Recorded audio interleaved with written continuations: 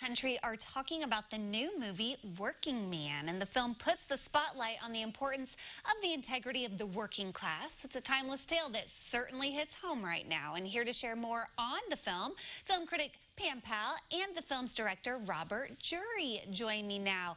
Hey Pam, we have Robert hey. also on the line, and I'm just going to kind of let you take it away.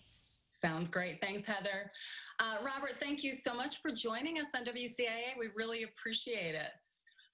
Uh, great to be here, uh, remotely as it is, right? We're all living the the strange days that is coronavirus. So we're, right. we're adjusting, right?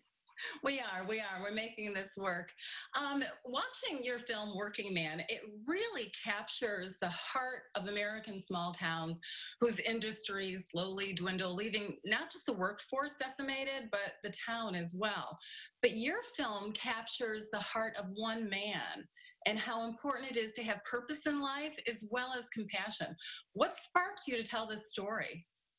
Well, the story actually dates back about 10 years. I wrote this post 2008 financial crisis, and I couldn't have ever imagined that when we finally got the movie made, uh, we'd be amid a, a pandemic where all of a sudden this story about an unemployed factory worker is now more relevant maybe now than when we we first conceived it and even when we shot it it's it's and and crazy crazy circumstances in that it is a timeless tale. Um, you've got Peter Gerety who plays Allery, the the main character, and then you have Talia Shire, who I think a lot of us remember from Rocky, playing right. his wife. Um, this, as I understand it, correct me if I'm wrong, but this is your first feature film. Tell me about casting these two incredibly talented and familiar seasoned actors in these lead roles.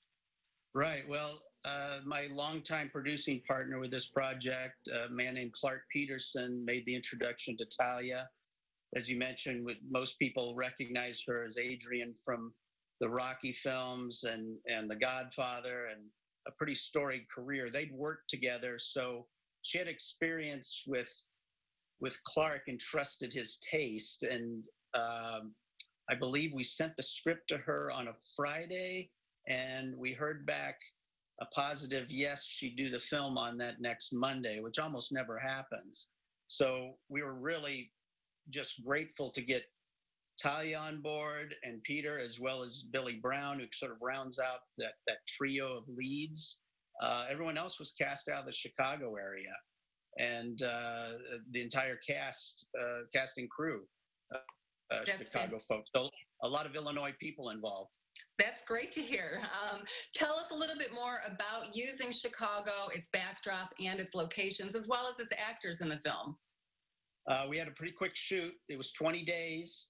Um, Brett Hayes was our line producer. He's one of uh, your Champaign, Illinois residents.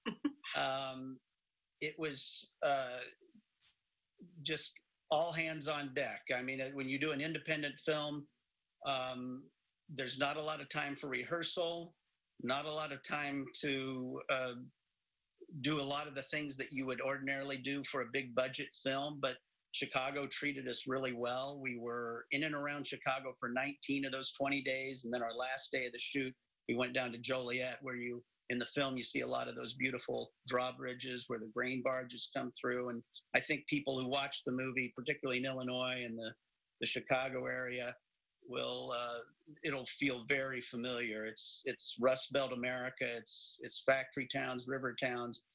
A lot of us who grew up in and around these places, I, I think will particularly identify with the movie. Fantastic. I think we all will identify with it. Um, thank you so much, Robert, for joining us. And great film that we can see on VOD starting on May 7th, I believe. May 5th. You're close. May 5th, yes. May 5th. That's right. Next Tuesday. Very good. Thanks so much. Thank you. All right. Pam, thank you so much for joining us. VOD again stands for Video on Demand. Is that correct? That is correct. Hey, just got to make sure I'm up on all of my movie jargon. There's a look at the Working Man's Facebook page. Go give them a like. Lots of Illinois ties here to this movie, and definitely one to check out. We appreciate you both hanging out with us this afternoon. And for more information on all the movies that Chuck and Pam review, we'll connect you at ciLiving.tv.